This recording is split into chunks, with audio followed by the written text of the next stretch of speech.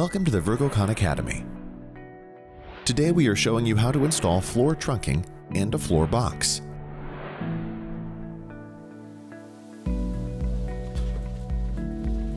First of all, you take the universal floor box and rule it up to the required height of the floor trunking VG using the set screws.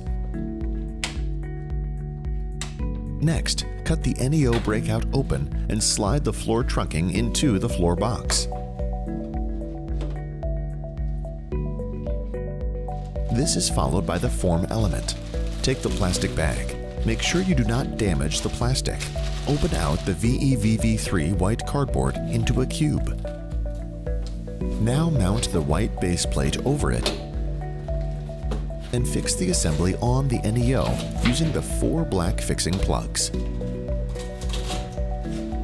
In the next step, you slide the plastic bag over the assembly and fold the brown cardboard into shape and then slide it downwards into the plastic bag.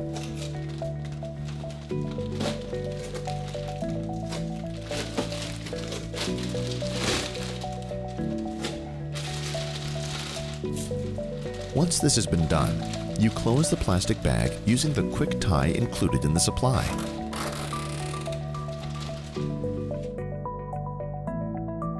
After the concrete has been poured, you remove the plastic bag with the brown form element and remove the white form element using a Stanley knife.